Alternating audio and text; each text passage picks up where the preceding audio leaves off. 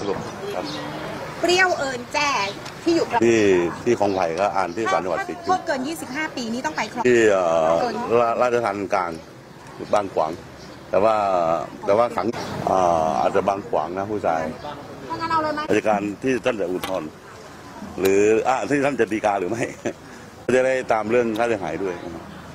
ในการบังคับยึดทรัพย์กับเอากับจำเลยทีเรื่องนึงค่าเสียหายนี้คือต้องร่วมกันชดใช้อ่าแต่ว่าจำเลยที่หนึ่ง คือรับของโจรค่ะนะฮะแล้วก็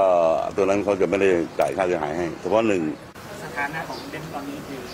คดีจบไปแล้วใช่ไหมอ่าเบนซ์จบไปแล้วสิ้นสุดไปแล้วเขาไม่ได้อุทธรณ์ที่ที่ฝ่ายจำเลยอุทธรณ์เรื่องขอลดโทษเดียวอ่าอุทธรณ์เรื่องการตายเกิดจากการทำร้ายร่างกายไม่ไม่ได้มีการเจตนาการได้รับการคล้ายๆกับว่าอุทธรณ์ของจำเลยที่หนึ่งที่สองฟังไม่ขึ้นเขาก็มีการรอได้ ก็ก็มีสิทธิในการก็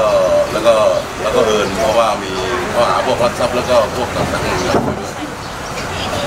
เท่ากันหมายถึงว่าที่อ่าอ่านวันนี้ก็จะมีทางฝ่ายโจทย์ก็คืออัยการแล้วก็โจทย์ร่วมยื่นอุทธรณ์แล้วก็จำเลยที่หนึ่งที่สองที่สี่ที่ห้าก็ยื่นอุทธรณ์เหมือนกันนะฮะทางทางทางโจทย์แล้วก็โจทย์ร่วมยื่นอุทธรณ์ให้เข้ามาตรา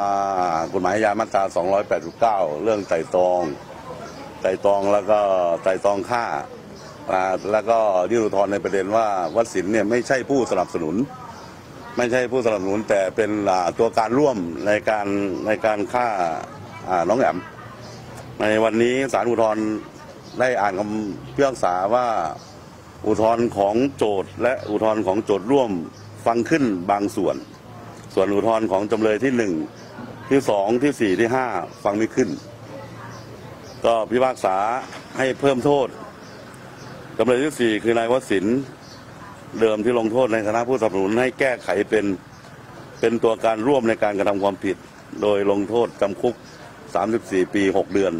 เท่ากับจำเลยที่ 1 เปรี้ยวจำเลยที่ 2 เอิญส่วนจำเลยที่ 5 แจ้อ่ลงโทษจำคุก 33 ปี 9 เดือน